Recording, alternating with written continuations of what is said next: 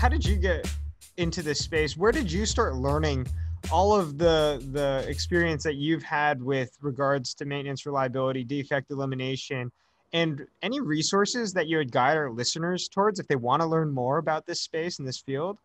It kind of fell into maintenance and reliability just you know through the initial internships that I had.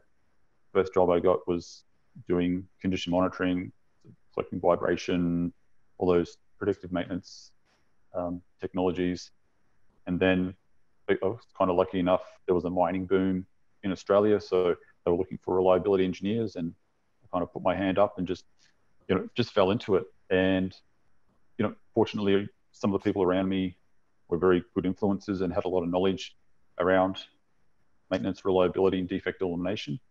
And nowadays, I kind of look to more the online resources.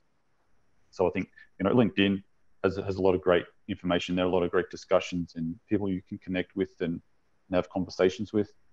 Then you know you've got places like reliabilityweb.com, um, the SMRP. You've got uh, it's called CBM Connect with, with Mobius um, and Noria. I mean, they've just got a wealth of, of information, videos, articles. You'd spend a more than an entire lifetime going through all of that stuff.